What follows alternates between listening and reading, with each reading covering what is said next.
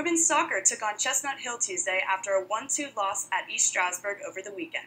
Bernadette Koff has the highlights. Spending most of the first half in Ship's offensive third paid off with two quick goals to finish out the period.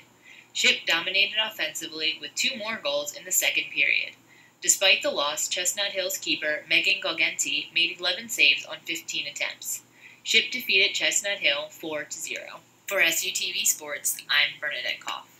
The team will face Edinboro tomorrow at 1 p.m.